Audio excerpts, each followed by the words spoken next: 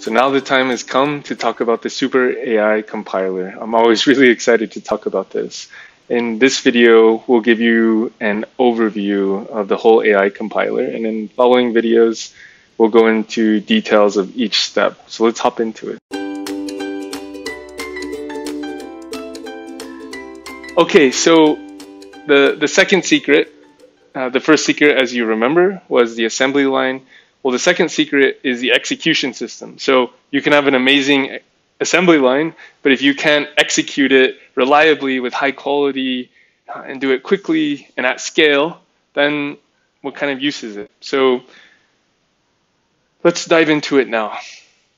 So the first step is we start executing the data program. And if you remember, the data program breaks us into little tasks. And so what this is about is executing these little tasks. And so the, the first important piece is that we treat every single data point differently. And this is where the analogy to the assembly line diverges a bit because in an assembly line, you're just producing the same car over and over again. And so you don't need to do that. Whereas in machine learning and software 2.0, your data in general is very different. So you can have an image that's extremely noisy, very difficult, or you can have a very simple image. So you need to, in general, treat those differently. And so the first piece of the AI compiler is what we call the router. And what the router does is it has a database of labeling sources. And I'll get into what these labeling sources are in a second. But just uh, imagine humans for the moment, but it can be AI, software functions, etc. And so the router has a database of each labeler, and each labeler has three distributions. There's actually 11, but we'll just talk about the three now. So it has a distribution of the labeler's quality. And so you can imagine that if you have a labeler where the distribution has a low standard deviation or low interquartile range and has a high quality, then you're going to want to route to that labeler. Uh, labeler. But maybe that label is really expensive or really slow. So you need to take into account these two other key variables of, of speed and cost. And those are also distributions.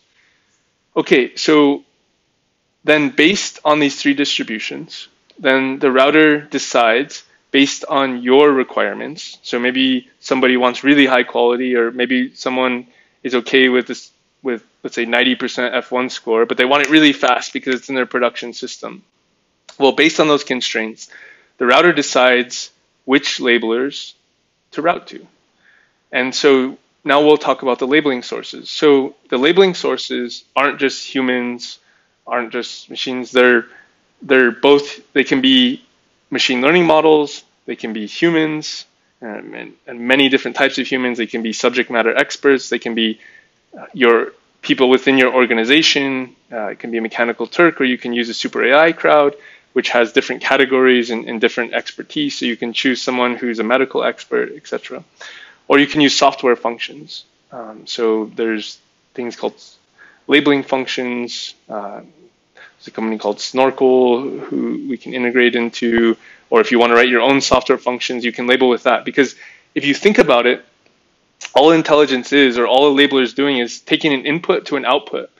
And you would say this is highly intelligent if it does that with high quality. And so what we say is we have this substrate independent intelligence assumption, or sometimes we call it abstract intelligence.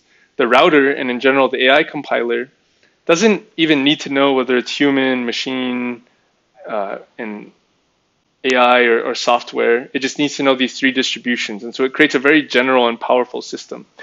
Okay, so let's just say in this case, it routed to uh, an AI that, that's in our system, and, and we'll talk about uh, how these AI are generated. Let's say it routes to the Super AI crowd, and let's just say it routes to Google AutoML via an API call, because these are one of the labelers. Okay, then what happens is each of these labeling sources takes the input of the task and, and generates an output. We call these predictions. Okay, now, now we move on to the next step of the combiner. So ultimately what we want is we want a single answer for the label. Um, and you could you could tie a distribution to this, but ultimately you want uh, a single distribution or, or a single output label. And so what the combiner does, and it's a really complex system, is it takes an importance weighted combination of each of the predictions that came from each of the labeling sources and combines them in an intelligent way. Um, so it, uses some really interesting statistics and uh, it actually uses a generative model uh, to do so. And so maybe you don't trust, like let's say for example, you had 10 people from a crowd and then you had one expert doctor and the doctor said this looks like cancer and the and the 10 people said they didn't. Well, which one do you trust? Do you say cancer or not cancer? Or how many people would it take to override the expert doctor? These are the type of questions the combiner answers.